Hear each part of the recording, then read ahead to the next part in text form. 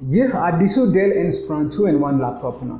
ላፕቶፕ ብቻ ሳይሆን እንደ ታብሌትም ልንጠቀምበት እንችላለን። ስለዚህ በዛሬው ቪዲዮ የዚህን ላፕቶፕ ከ performance እስከ display እና battery life ኡ ዋና ዋና spec ኦቹን እያነሳን review እናደርገዋለን። ሰላም እንዴት ናችሁ? ለቻናላችን አዲስ ለሆናችሁ እኔ ሄኖክ እባላለሁ። ይህ ቴክኖሎጂን ቀለል አድርገን የምንማማርበት ቻናላችን ነው። ዛሬም አሪፍ ቆይታ እንደሚኖረን አልጠራጠርም። ወደ ቪዲዮ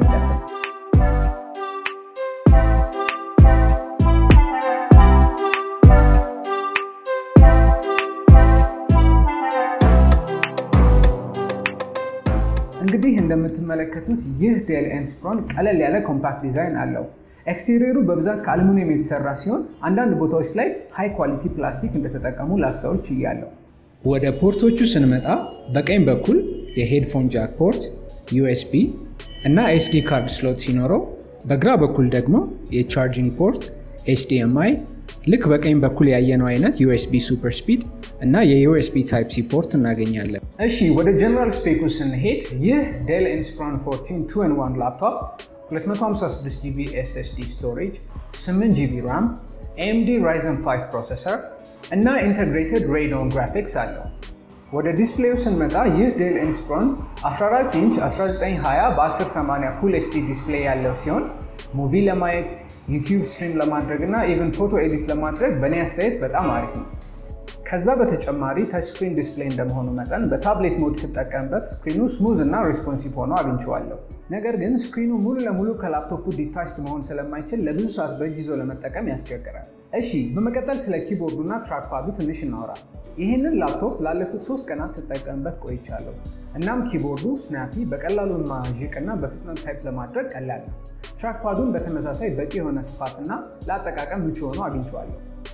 ይህ ብቻ ሳይሆን የዚህ ላፕቶፕ keyboard backlit ስለሆነ በተለይ አምሽታችሁ ለምትሰሩ ሰዎች ተመራጭ ነው። ከዛ በተጨማሪ የ power button ኡ ላይ የ fingerprint sensor መኖሩም ተመችቶኛል። ስለ keyboard ኡ ያልወደድኩት አንድ ነገር ቢኖር dedicated የሆነ number pad አለመኖሩ ነው።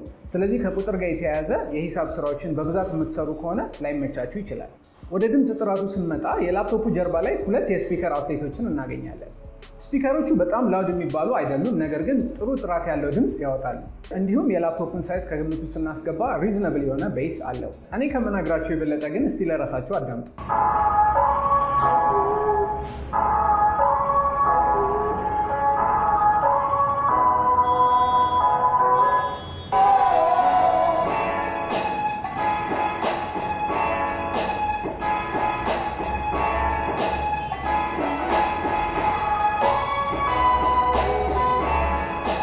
okay next ወደ webcam ኡ ስንመጣ የዚህ Dell Inspiron webcam 1280 በ720 የሆኑ HD ቪዲዮዎችን በ30 frame per ሰከንድ ይቀርጽልናል። እንግዲህ ቀደም ብዬ ላስረዳችሁ እንደሞከርኩት የዚህ ላፕቶፕ webcam ምንም እንኳን full HD መቅረጽ ባይችልም 1280 በ720 የሆኑ HD ቪዲዮዎችን ጥሩ መብራት ያለበት ቦታ እስከተቀመጠን ድረስ እንደምትመለከቱት ቆንጆ አድርጎ መቅረጽ ይችላል ማለት ነው። እሺ ብዙዎቻችን ላፕቶፕ ስንገዛ ከሚያሳስቡን ነገሮች አንዱ የላፕቶፑ battery life ነው።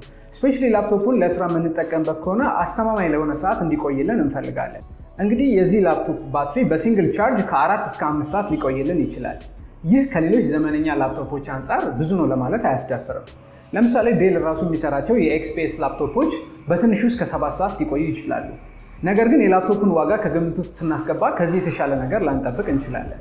በመጨረሻ ይህንን ላፕቶፕ ማን ቢገዛው አሪፍ ነው የሚለውን ጥያቄ እንመልስ። ይህ ላፕቶፕ ከ spec ኡ አንጻር ለ intensive gaming ብቁ ነው ብዬ መናገር አልችልም። ከዛ በተጨማሪ video editing በብዛት የምታዘወትሩ ከሆነ ከ performance አንጻር ብቻ ሳይሆን screen ኡም 14 ኢንች ብቻ ስለሆነ ከዚህ የተሻሉ አማራጮችን ብትመለከቱ መልካም ነው። ነገር ግን የቢሮ ሰራተኛ ከሆናችሁና የ general productivity task ኦች ላይ የምታተኩሩ ከሆነ የ Microsoft Office ሶፍትዌሮችን run ለማድረግ ኢንተርኔት browse ለማድረግ እና ኢሜሎችን ለመለዋወጥ እና even ቀለል ያሉ የፎቶ editing እና የ graphic design ስራዎችንም ለመስራት ከበቂ በላይ አቅም አለው። በነገራችን ላይ መሰረታዊ የኮምፒውተር ስልጠና፣ graphic design፣ Peachtree accounting፣ programming እና ልዩ ልዩ የ engineering ሶፍትዌሮችን ስልጠና በአይስ ኮርቴክስ ስር እየሰጠን እንገኛለን። ከስር በተቀመጡት ስልኮች ላይ በመደወል ወይም ጀሞ ሚካኤል ሚና ሞል አራተኛ ፎቅ ወደሚገኘው ቢሯችን አንድ አፍታ ጎራ በማለት ተጨማሪ መረጃ ልታገኙ ትችላላችሁ። እንግዲህ የዚህን ላፕቶፕ ዋጋ ለመጨረሻ ጊዜ አማዞን ላይ ገብቼ check እንዳደረግኩት 573 ዶላር ነው። ይህንን እናንተ ብትፈልጉ በመደበኛው ካልሆነ ደግሞ በ black ቀይራችሁ ትክክለኛ ዋጋውን ማወቅ ትችላላችሁ። እንግዲህ ለዛሬ ያዘጋጀሁላችሁ ቪዲዮ ይሄን ይመስል ነበረ። ዘና እያላችሁ ጥሩ መረጃ እንዳገኛችሁበት እርግጠኛ ነኝ። ልክ እንደዚሁ review እንዳደርግላችሁ የምትፈልጓቸው ሌሎች gadget ኦች ካሉ እንዲሁም ስለ ቪዲዮዎቼ ያላችሁን አስተያየት ከስር comment section ኡ ላይ ጻፉልኝ። በሚቀጥለው ቪዲዮ እስካገኛችሁ ድረስ ቻው።